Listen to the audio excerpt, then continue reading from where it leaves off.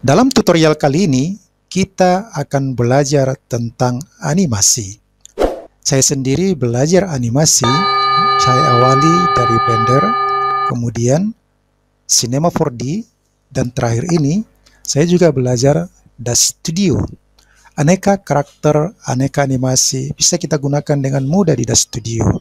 Namun, saya juga tertarik melihat animasi yang disediakan oleh Adobe, karena di sini ada versi beta yang menyediakan animasi berbicara hanya dengan memasukkan audio atau merekam suara kita sendiri.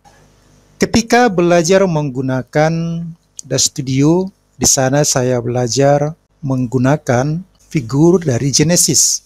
Ada Genesis 2, ada Genesis 3, ada Genesis 8, ada Genesis 8.1, ada Genesis 9.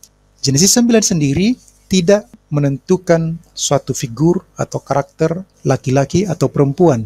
Jadi suatu karakter bisa dipakai untuk laki-laki, bisa juga dipakai untuk perempuan.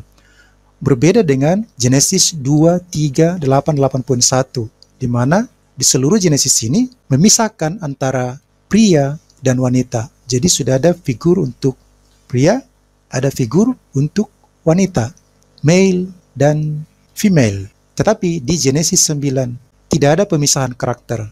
Bahkan karakter itu di samping bisa untuk laki-laki, bisa untuk perempuan, bisa juga untuk karikatur. Itulah keunikan dari Dash Studio yang menyediakan fitur dari figur Genesis.